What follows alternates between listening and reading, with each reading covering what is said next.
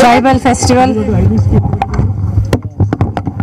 ఆదివాసీలు చేసుకునే పండుగ ఈ సమ్మక్క సారక్క జాతర. రెండేళ్ళకు ఒకసారి చేసుకునే ఈ జాతరకు కోటి మందికి పైగానే వస్తారు. అంటే కోటి మందికి పైగా ప్రజలకు స్ఫూర్తినిచ్చే జాతర ఈ సమ్మక్క సారక్క జాతర. బలమైన కాకతీయులు సామ్రాజ్యానికి వ్యతిరేకించి ప్రజల పక్షాన నిలబడిన వీర వనితలు సమ్మక్క సారక్కలు ప్రజల పక్షాన ప్రజల కోసం నిలబడి పోరాడి ఆఖరికి తన వాళ్ళ ప్రాణాలు కూడా త్యాగాలు చేసిన సమ్మక్క సారకలు ఎంతోమందికి ముఖ్యంగా నాయకులకి స్ఫూర్తి. పదమూడో సెంచరీలోనే పదమూడో శతాబ్దంలోనే మహిళలు ఏమీ తక్కువ కాదు అని మహిళలు కూడా పోరాడగలరని నిరూపించారు. మహిళా నాయకత్వాన్ని నిరూపించారు. మహిళల త్యాగ గుణాన్ని నిరూపించారు.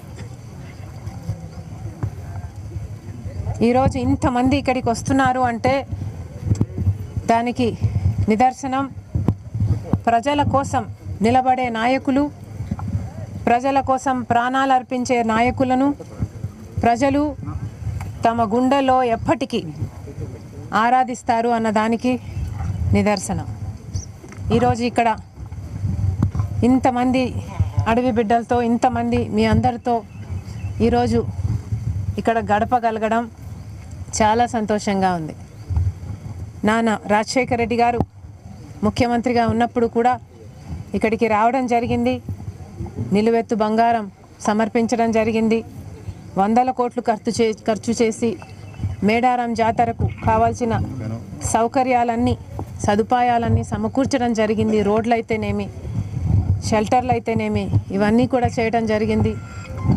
ఆదివాసీల కోసం వాళ్ళ సాంప్రదాయాన్ని గౌరవించి రాజశేఖర రెడ్డి గారు ఎంతో చేశారు. రాజశేఖర రెడ్డి గారు ప్రత్యేకంగా చేసిన ఇంకొక విషయం నేను గుర్తు చేస్తా. ఈరోజు పోడు భూములు అన్నది అడవి బిడ్డల బర్నింగ్ ఇష్యూ. ఇది చాలా పెద్ద సమస్య. ఈరోజు తెలంగాణలో దాదాపు ఇరవై లక్షల ఎకరాల మీద మాకు హక్కును కల్పించండి అని అడవి బిడ్డలు ప్రభుత్వాన్ని అడుగుతూనే ఉన్నారు. కానీ ఇంతవరకు కేసీఆర్ గారు ఒక్క ఎకరా భూమి మీద కూడా హక్కు కల్పించలేదు. పోడు భూముల కోసం అడవి బిడ్డల కోసం రాజశేఖర రెడ్డి గారు ఎంత చేశారు అని అడిగితే రాజశేఖర రెడ్డి గారు ముఖ్యమంత్రిగా ఉన్నప్పుడు మూడు లక్షల ముప్పై వేల ఎకరాల మీద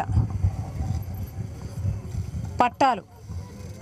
పోడు భూముల మీద పట్టాలు హక్కులు కల్పించాడు రాజశేఖర రెడ్డి గారు. కానీ ఆ ముఖ్యమంత్రి వెళ్ళిపోయిన తర్వాత ఇంతవరకు కూడా తర్వాత వచ్చిన ఏ ఒక్క ముఖ్యమంత్రి అయినా ఒక్క ఎకరానికి కూడా మళ్ళీ హక్కు కల్పించింది లేదు. అంటే ఏమనుకోవాలి? ఆ తర్వాత వచ్చిన ముఖ్యమంత్రులు చేతగాని వాళ్ళు అనుకోవాలా లేక చిత్తశుద్ధి లేదనుకోవాలా? ముఖ్యమంత్రి కేసీఆర్ గారు సమాధానం చెప్పాలి.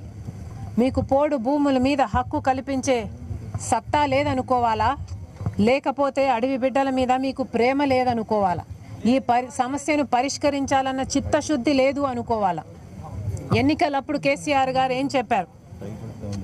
నేను పోడు భూముల సమస్య ఒక్క సంవత్సరంలోనే తీరుస్తాను. అవసరమైతే ఎక్కడ సమస్య ఉంటే అక్కడ కుర్చీలు వేసుకొని కూర్చొని మరీ సమస్య తీరుస్తాను అని చెప్పాడు కేసీఆర్ గారు. ఏమయ్యాయి కేసీఆర్ గారు? మీ మాటలను అడుగుతున్నాం. మీకు చిత్తశుద్ధి ఏ మాత్రం ఉన్నా ఈ పాటికి ఎన్నో లక్షల ఎకరాలకు మీరు పోడు భూముల మీద హక్కు కల్పించేవారు. కానీ ఈ రోజు వరకు కనిపించలేదు అంటే దానికి అర్థం మీకు చిత్తశుద్ధి లేదని కోరుకున్నాం. పోడు భూముల సమస్య సంవత్సరాల నుంచి అలాగే ఉంది. వాటిని పరిష్కరించాలని కేసీఆర్ గారికి మనసు కలగాలని కోరుకున్నాం. నిరుద్యోగులకు ఉద్యోగాలు ఇవ్వాలని మనసు కలగాలని కేసీఆర్ గారికి కోరుకున్నాం. కేసీఆర్ గారు మన ప్రజలను సరిగ్గా పాలించాలని కోరుకున్నాం. రైతులు ఆత్మహత్యలను ప్రేరేపించకుండా రైతులను ఆదుకోవాల్సిన ముఖ్యమంత్రి కళ్ళు తెరిపించమని కూడా కోరుకున్నాం.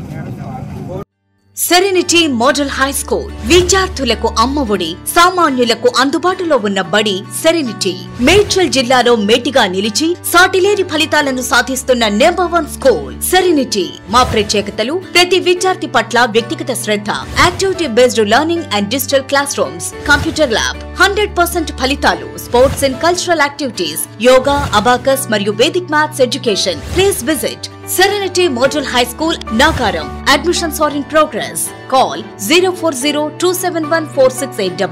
and 040 271 8699.